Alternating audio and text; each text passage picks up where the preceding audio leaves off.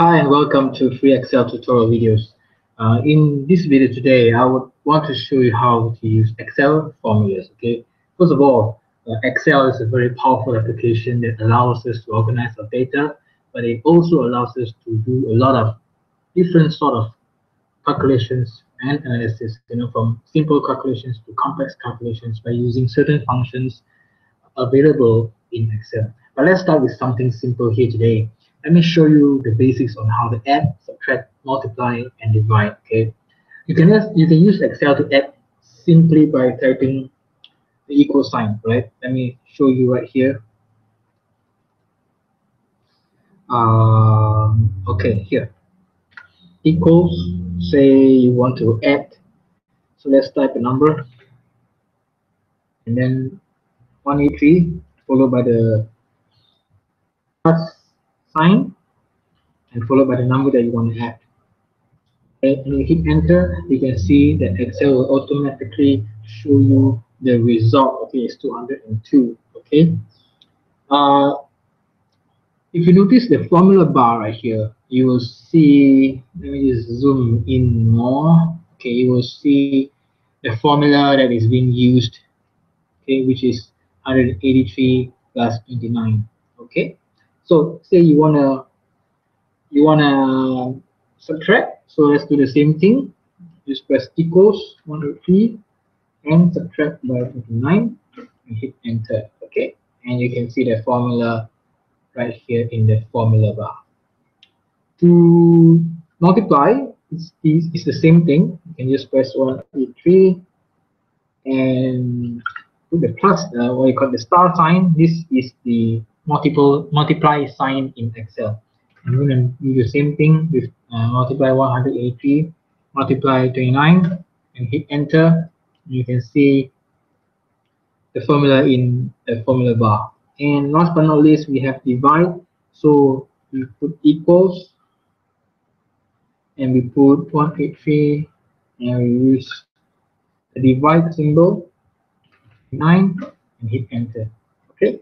So in each of the cell that you see right here, you can see the formula in each of the uh, sort of calculations that we made, okay? So that is just a few basic formula you can often use in Excel, okay? Um, so now let's move to something that is more complicated, something like uh, finding totals. And I have here, to show you that, I have here a set of information, data on the expenses on entertainment and I have here the details of the expenditure, uh, satellite TV, video rental, oops, sorry for the wrong spelling, movies, CDs, and the total. Okay, so to calculate the total, the first thing where I want to, to do is to select where I want the total to be, okay, where I want the answer, the total. So in this case, it's going to be this, this cell over here. And then uh, in cases like addition, it's easy to do by looking for this symbol over here, auto sum. All right. Okay, so I'm just to click this. Okay, the first thing you notice is once I click that symbol, you will see automatically see the cells being selected by Excel.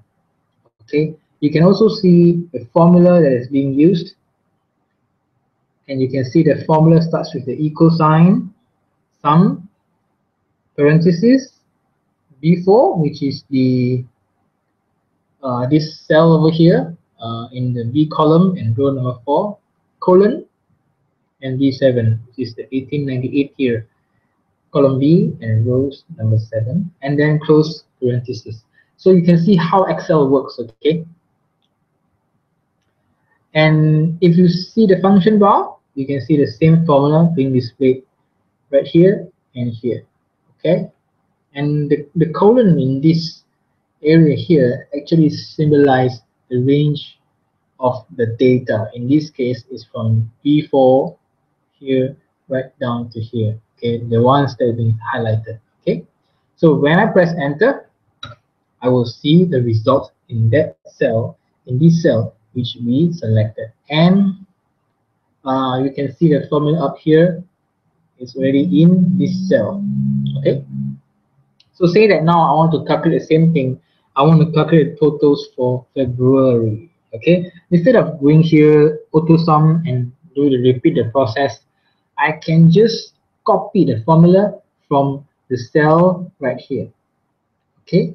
Just select the cell where you want to copy the formula and move the mouse cursor to the right lower right of the cell and you can see this black cross.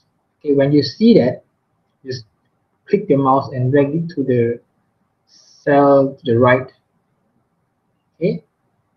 And when you release the button you will see the result of the calculations for the expenses for February. Okay? Which is the add, which is the add up of all these four uh, amounts so if you put the the you click on this cell over here you can see the formula up here is exactly the same. But now the range of data has been changed to C4 colon C7 okay?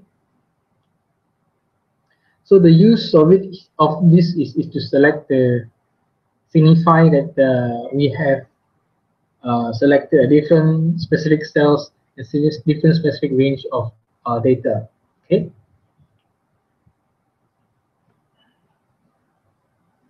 Now I want to show you a different type of calculation which uh, is not a common one where we add from the top to bottom okay? So I want to show you a calculation uh, say that I want to have a total not of everything but the total of CDs and video rentals. Okay just these two okay? So I'm just going to click anywhere in, in the cell in the in the spreadsheet. Let me let me just click here. And I would like to do this by using Excel formula okay? So the first step is always equals. So I'm going to choose um, sum okay? I'm going to use this function over here okay you double click on this one and you can see the Excel automatically opens up a parenthesis for you. And then I'm going to click C5. Okay, column C. I'm going to calculate the ones for February. So I'm going to click C5. Okay. And then click C, C5. Uh,